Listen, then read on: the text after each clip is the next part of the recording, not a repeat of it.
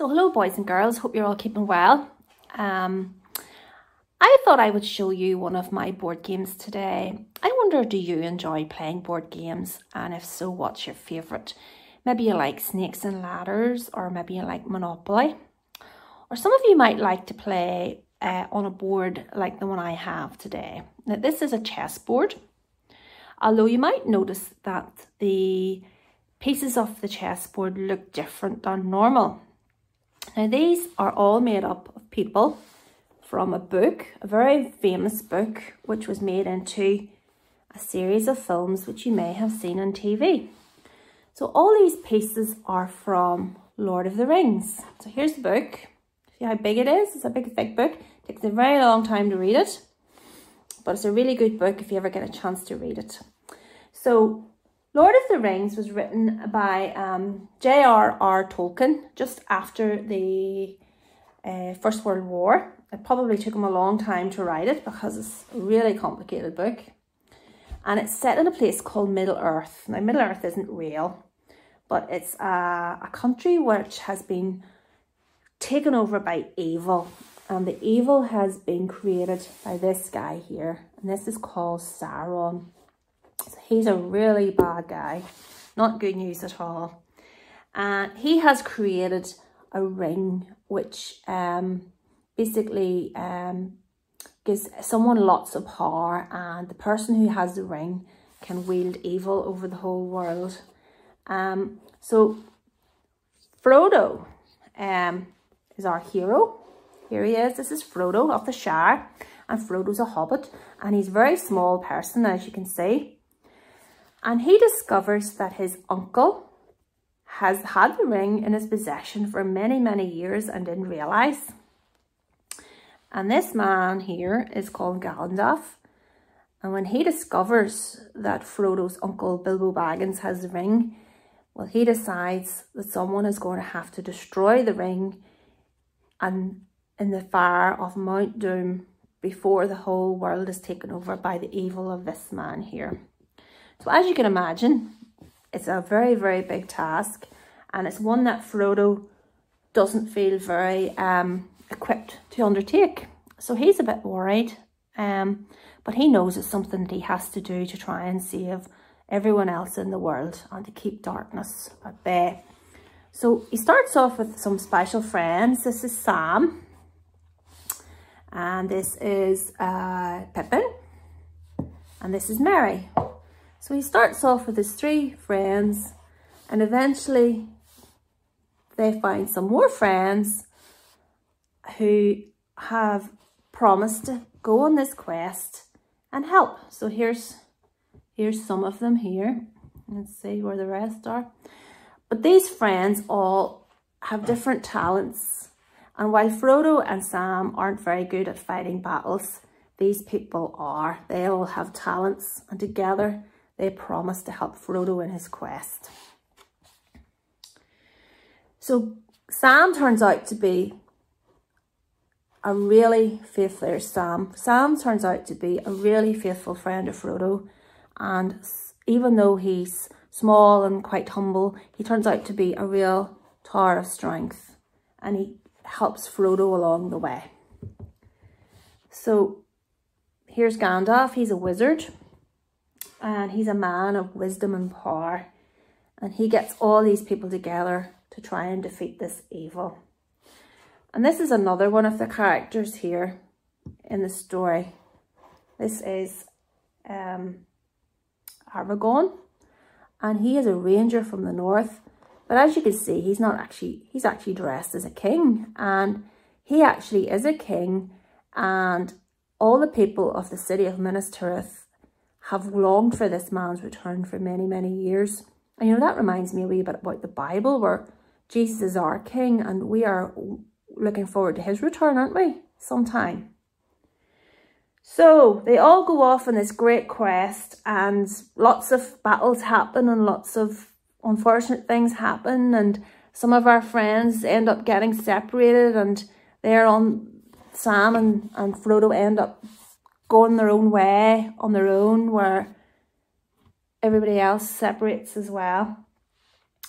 And whenever you see these two going through the book and you wonder, they're so small, how on earth are they ever going to manage to beat this man here who's got all these really evil creatures? He's got an army of orcs and horrible, horrible things, look. Really evil and really nasty. How on earth are Sam and Frodo going to complete their task and save the world? But you know what? This isn't a real story. But it reminds me of a story in the Bible about someone who was small and someone who was perceived to be inadequate and unqualified to go into battle and to take on someone who was really scary and bigger and a seasoned warrior. Can you guess who I'm talking about? Who do you think I'm talking about? That's right, David and Goliath. So today's story is about David and Goliath and we're going to have a wee look about how even though David was small unqualified and not a warrior, he still managed to overcome the giant. All right? Today we are taking our story from 1 Samuel chapter 17. The prophet Samuel has anointed David to be king over God's people. In our story today, David knows he has been chosen to be king, but it's not God's time for him to be the king. Saul is still the king of Israel, and David spends some of his time with Saul and he spends the rest of his time back in Bethlehem tending his father's sheep. While David was in his father's field tending his sheep, King Saul and his army was preparing for a battle against the Philistines. Let's read 1 Samuel chapter 17 verse 1 to 3. Now the Philistines gathered their enemies for battle, and they were gathered at Socoh, which belongs to Judah, and encamped between Socoh and Azekah in Ephes Dammim. And Saul and the men of Israel were gathered and encamped in the valley of Elah, and drew up in line of battle against the Philistines. And the Philistines stood on the mountain on the one side, and Israel stood on the mountain on the other side, with a valley between them.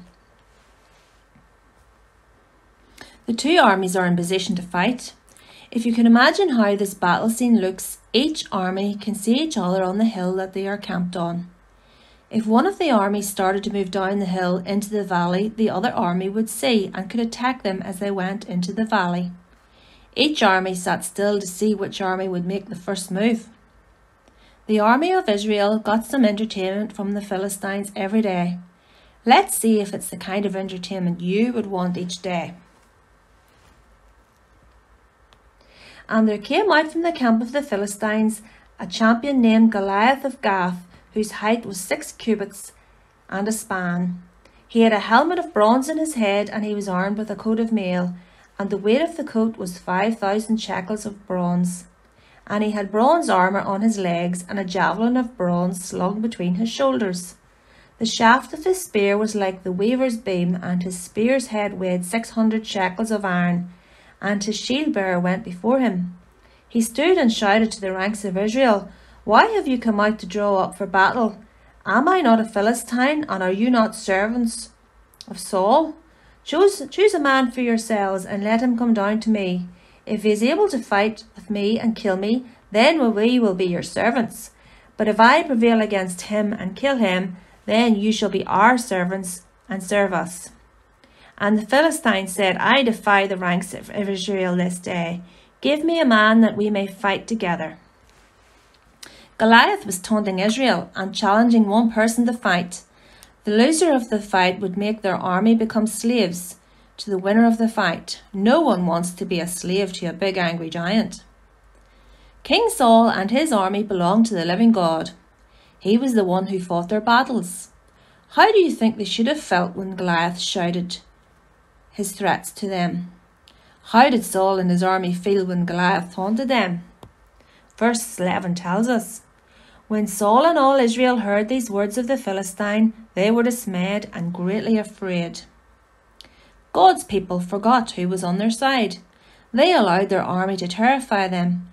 Instead of trusting God to fight their enemy, they were paralyzed by fear. Meanwhile, they lived in fear every day because Goliath came out every morning and evening for forty days, shouting and challenging Israel to fight him. When we face difficulties, do we remember, Greater is he that is in me than he that is in the world? Or do we allow our difficulties to paralyze us and keep us from being all that God wants us to be? Back in Bethlehem, Jesse is thinking about his three eldest sons who were in Saul's army. He hadn't seen or heard from them for a while and he wanted to know how they were doing. He called for David, who was tending his sheep. David, please take this grain and ten loaves of bread to your brothers who are fighting in Saul's army. I would like you also to take ten blocks of cheese to give to the captains of their army. Will you please find out how your brothers are doing while you're there? From what we all know, already know about David's character, how do you think he responded to his father's request? Well, verse 20 tells us and David rose early in the morning and left the sheep with a keeper and took the provisions and went as Jesse had commanded him. And he came to the encampment as the host was going out to the battle line, shouting the war cry. David found someone to take care of the sheep while his father was away, and went to visit his brothers as his father asked. When David arrived at the army of Israel's camp, he showed up just in time for Goliath's daily taunt. Imagines David's surprise as he hears this nine foot tall giant shouting, Send me a soldier and I will fight him alone. If you win the battle, then we will be your servants, we will serve you. But if I win the battle, then you will become our servants and you will serve us. I defy the armies of Israel. Give me a man today that we may settle this matter now. When Goliath was saying, I defy the uh, armies of Israel, he was daring them to fight him. This Philistine giant worshipped gods that were not real. He was mocking Israel and mocking the one true God by defying them. David must have turned to look at the armies of the living God to see what they were going to do with this big angry giant who would defy God and his army. As he turned to look, they all ran away in fear. Verse 24 tells us All the men of Israel, when they saw the man, fled from him and were much afraid. David must have been surprised by the fear of Saul's army. He began to ask them questions. Why will no one fight him? You are God's army. Who is this unclean, ungodly Philistine who would dare defy God's army? David didn't understand why they would not trust God's power to help them. Sadly, Israel asked for a king so that they could be like the other nations around them. They got what they asked for and received Saul, Saul was not a leader who was helping God's people to keep their eyes upon the one true God. He was disobedient to God and had turned away from him and led God's people away from God in the process. As a result, God's people forgot that they had the one true God on their side. It took a young shepherd boy to come to the battlefield to see that God's people were being terrified by a man who would dare God to fight him. When we become paralyzed by fear or any other emotion like worry, that God tells us not to have, we forget the power we have to win the battle we face. If you are a believer, remember who is fighting for you. Some men told Saul about David, and he wanted to meet with him. David knew that God had power over all his enemies, and he stood before King Saul very bravely. He said, Do not let men's hearts fear because of this giant. I am your servant, and I will go and fight with this Philistine. As Saul looked at David, he saw a young man. To fight in an army, a man had to be 20 years old. David wasn't even old enough to fight in Saul's army. Saul said, You're not able to go against this Philistine and fight him. You're just a young man. And this man has been fighting in the Philistine army since he was a young man. I can do it, King Saul, because God will help me. I am responsible for taking care of my father's sheep. One time I had to kill a lion, and another time I had to kill a bear to protect the sheep. If God can help me to kill a lion and a bear with my bare hands, he will help me to win against this Philistine giant who has defied the armies of the living God. As David was faithful in caring for his father's sheep, God was preparing him for this day in history. Because God had given him the power to protect the sheep he was responsible for, now David could trust God to face Goliath. Right now you are children, but God can use your faith in him to point others to Jesus. Always be faithful with the tasks you're assigned because one day you will be able to see how God prepared you for the work He has for you as you grow older. King Saul must have been impressed with David's courage and faith in God's power. He told David it would be okay for him to fight Goliath and gave him his armour to wear. David wasn't able to move around in Saul's armour, so he took them off and headed out to battle in his own clothes. Verse 40 tells us Then he took his staff in his hand and chose five smooth stones from the brook and put them in his shepherd's pouch. His sling was in his hand and he approached the Philistine. With his shepherd's staff in one hand, David leans down and he chose five smooth stones from a stream and placed them in his bag. Goliath mocks this young shepherd boy who's coming out to fight him. David is trusting God's power and isn't afraid. Let's read his response in verses 45 and 47. Then David said to the Philistine, You came to me with a sword and with a spear and with a javelin, but I come to you in the name of the Lord of hosts, the God of the enemies of Israel, whom you have defied. This day the Lord will deliver you into my hand, and I will strike you down and cut off your head. I, and I will give the dead bodies of the host of the Philistines this day to the birds of the air and to the wild beasts of the field, that all the earth may know that there is a God in Israel. And that this assembly may know that the Lord saves not with sword and spear, for the battle is the Lord's, and he will give you into our hand. If David was going to fight Goliath in his own strength and power, he would fail. David wasn't trusting in his own strength, but in the name of the Lord Almighty. It is only through God's power that enemies can be defeated. David wanted Goliath and everyone who was watching to know that he was fighting in God's power so that they would know that God is the only true God. It is important if we are believers to share our faith in Jesus with others so when they see the difference in our lives, they know it's because of Jesus' power living in us that we are different, and not because we are able to be different in our own power. So Goliath came forward to meet David, and as he did, David reached into his shepherd's bag and took one smooth stone and placed it in his sling. He wound up the sling, and as the sling sailed through the air, God guided that stone with speed and accuracy, and it hit Goliath smack in the middle of his forehead. The giant who dared to defy God and his army fell flat on his face and was a defeated foe. David was willing to trust God and his power, and God used him to fight against this ungodly enemy. From time to time, we all face some kind of enemy that either causes us to be afraid, sad, or angry. Just as God gave David power to fight his enemy, the Holy Spirit living in your heart will give you power to fight whatever battles that come into your life. If you have never been saved, the biggest enemy you face is sin and the consequences of sin. Because we have all sinned, we are separated from God. Unless we have our sin forgiven, we will be separated from God forever. Jesus fought the battle against sin when he was nailed to the cross for our sins and my sins. He died in our place to take our punishment for our sins. God's power raised Jesus to life three days later, and he is now living in heaven, seated at his right hand. The battle against sin was won when Jesus died on the cross, was buried, and rose again the third day. Today you can have your sins forgiven if you believe in the Lord Jesus Christ. Please speak to, to one of the Sunday school teachers if you have any questions about God or how you go about. Let us pray. Dear Father, thank you for every person who has watched this video or listened to this message. We just pray that you would keep them and their families safe at this time. Thank you for the lessons we can learn from your word. Thank you, Lord, that while we are not strong within ourselves, when times of trouble we can turn to you and we know that you can give us the strength to face whatever giants there are in our life. Please, Lord, remember those who aren't well at the minute and remember those who are struggling with COVID 19 or lockdown or isolation. Just pray that you be with each and every one of them and that they would feel your arms surrounding them at this time. All these things we ask in your name. Amen.